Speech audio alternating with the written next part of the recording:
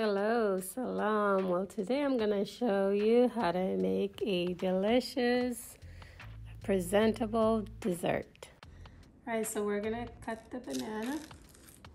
Basically split it in half. Nice fresh banana. I would use a knife to do so. Right in the middle.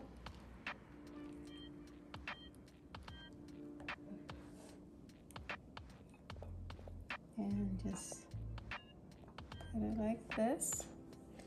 And the next thing we're gonna do is add your favorite scoops of ice cream, however many scoops you want. Usually three works really good. I love vanilla ice cream.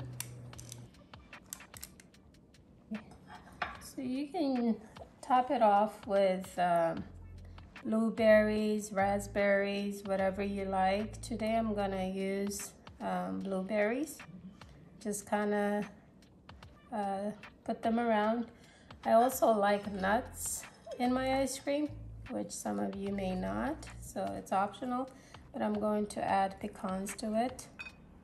You can add almonds as you wish. And once you add that, then this is when you're gonna add the uh, chocolate syrup. Most of us always have chocolate syrup handy. So just kinda go around it.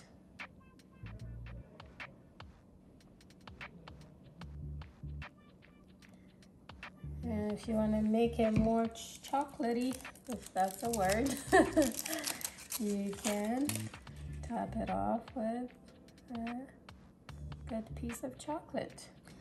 Well, there you have it, a very simple and delicious uh, dessert. This, uh, this can be very presentable. You have guests, someone comes over. Like I said, we always have ice cream, uh, bananas, and um, chocolate syrup.